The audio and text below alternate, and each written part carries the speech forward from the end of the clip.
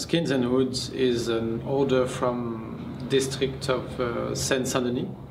And uh, they make an order to Gustave Akakpo for a play. Mm-hmm. Um, and then they order me to direct it. Right. And it was a, a great pleasure for me to meet uh, Gustave and the, how he, he, he, writes and how he's, he has a good point of view for me on the, what happens today in the society. And the, the, the commission from the, the district, uh, it's district of Paris, is it? Yes, it's in, in the suburb uh, next to Paris.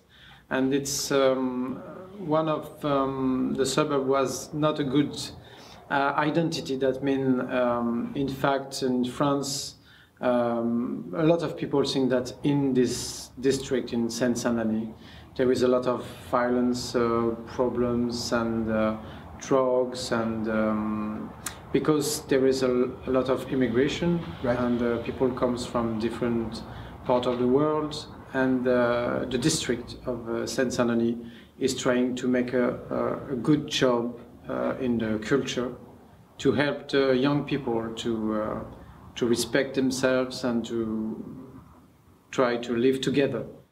And uh, for me, it was very interesting because this district is not uh, the same as it seems it could be. It's right. it's really more uh, open, and uh, the people are very interesting, and it's not uh, as the media and um, especially uh, what you you've seen on television. Yes.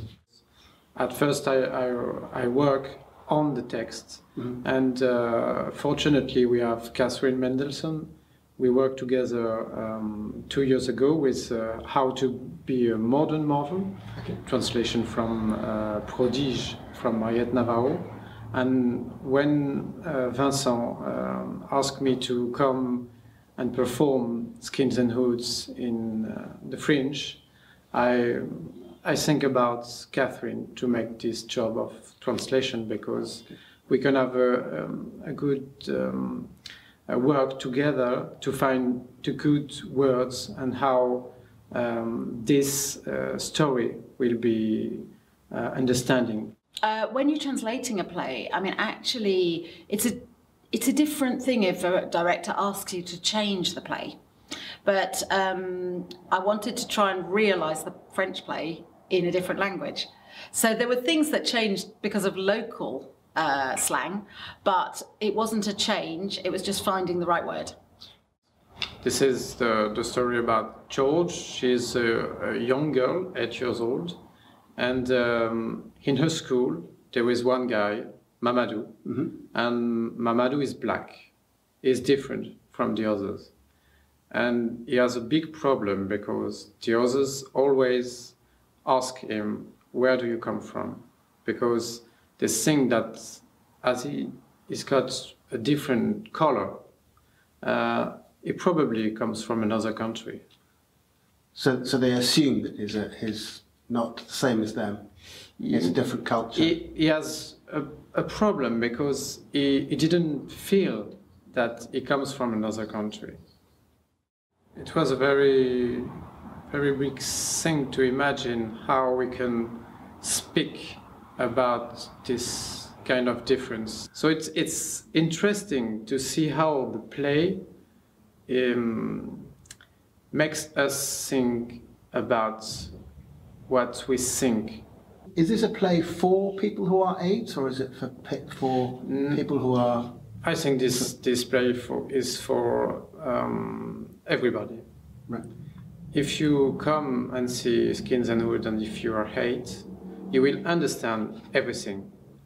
And if you're an adult, you will also understand um, differencing. My, my history of work is as a dramaturg, which is often evolving the scripts for a world premiere. Now, I couldn't evolve this script. So I did something different. Because if you're a translator, you're not looking to change the script unless playwright and director want you to.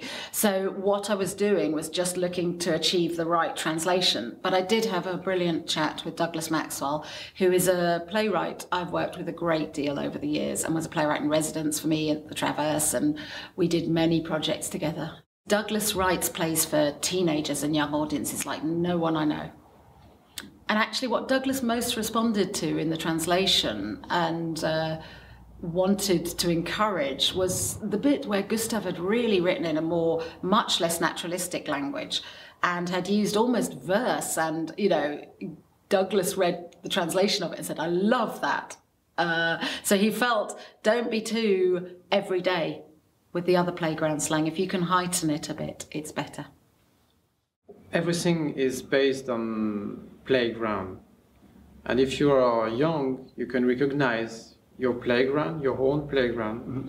And if you're an adult, you have the, um, the re- you remember who you were when you were eight and who you are now as adult if you have child, for example.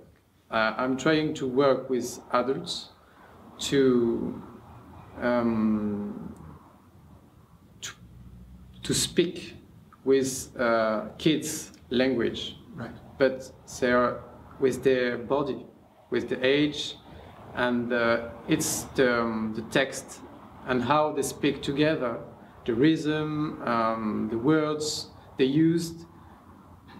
That's what we know. We know with that that they are kids. At first, when we, we come here in 2013 with uh, How to Be a Modern Marvel, uh, I realized that uh, I really want to, to make another step for, between uh, our company and the audience here.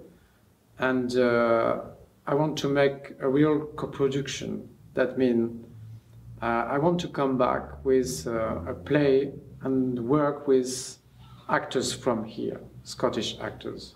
Because modern Marvel used French, French act- yes. actors speaking English. Yeah, yeah. Which is a big step in itself. Yes, a huge challenge. It was. Yeah, yeah, yeah. But um, you know, I, I I don't want to to do the same thing. I want to to continue to in in the way um, to progress. And um, Vincent Guérin from Institut Français, the director, he saw Skins and Hoods um, just before we we went to Avignon right. last year, and uh, we were speaking together because this play particularly was interesting because it was uh, for family audience mm-hmm. that means kids and adults. And we were using a lot of uh, new technologies um, like video and how the actors are speaking with images. Um, so we decided to make the translation of the play, to come here and to create this play with uh, Scottish actors.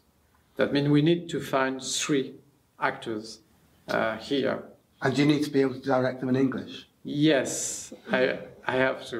yeah, which is a, a very, very interesting uh, experience um, because I, I discover things that I didn't know about the play. How uh, here it's different to um, to hear the same words, but right. how uh, the audience will understand. So it's a new uh, play for me.